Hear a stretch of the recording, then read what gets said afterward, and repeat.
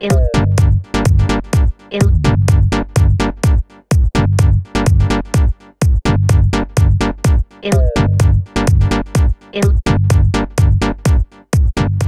librairie Mola m'a proposé d'amener un objet qui, pour moi, euh, évoque euh, Berlin et euh, ma présence ici et mon éloignement de la France. Et donc, j'ai amené un objet peu encombrant qui est cet objet.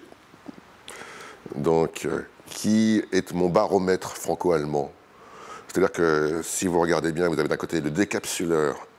Ça, c'est le côté allemand, c'est la bière et c'est Thorsten Becker, par exemple. Vous avez le côté tire-bouchon, ça c'est mon côté français pour le vin, c'est mon côté euh, Jean-Claude Pirotte et Eric Holder.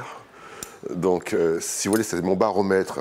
Quand je commence à éprouver la nostalgie de la France, quand je commence à penser à avoir en tête des paysages du Médoc, par exemple, je, penche du côté du tire-bouchon.